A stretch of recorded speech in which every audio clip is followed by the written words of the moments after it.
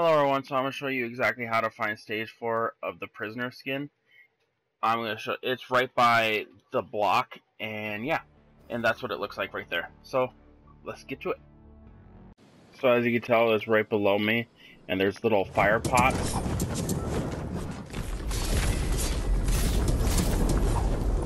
And there you go. Stage 4 unlocked. Thank you so much for watching. Have a great day. Goodbye.